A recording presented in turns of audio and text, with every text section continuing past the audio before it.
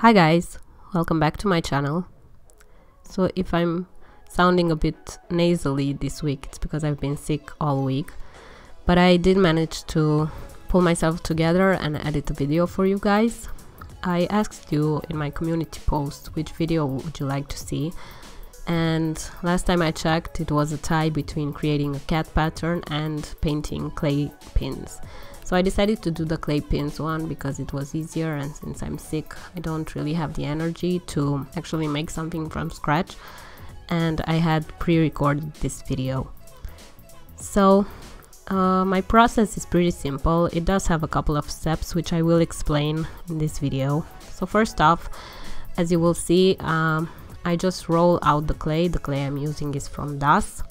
Uh, it sets if you leave it out in air, so that's pretty simple. You don't need an oven or anything.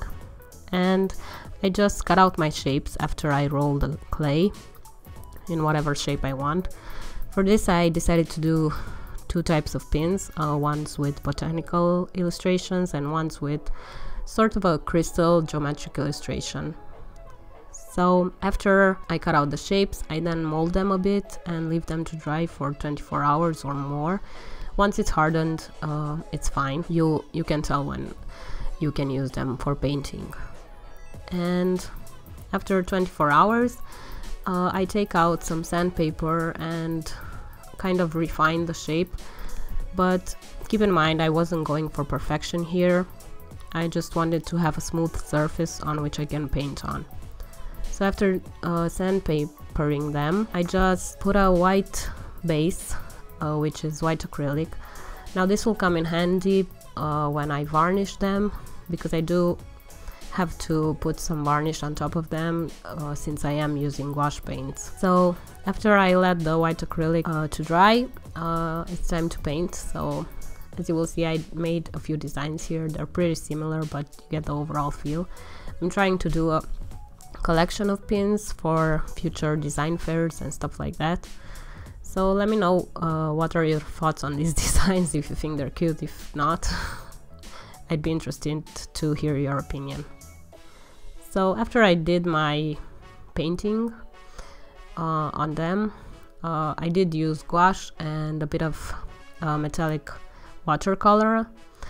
Uh, I just leave it to dry and then I go over it with the varnish. Now the varnish I use is from Maimeri. I have used this before with pins uh, with wooden pins. It works just fine uh, with clay if you put white acrylic as a base.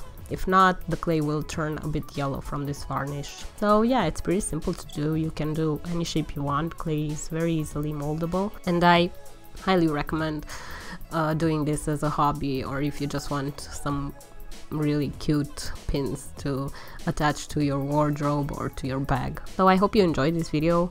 I'm sorry for my voice, it's kind of all over the place, but I'm still recovering from a cold. And yeah, let me know what you think in the comment section. Probably the next video will be uh, creating a cat pattern because I saw that was pretty popular in my poll.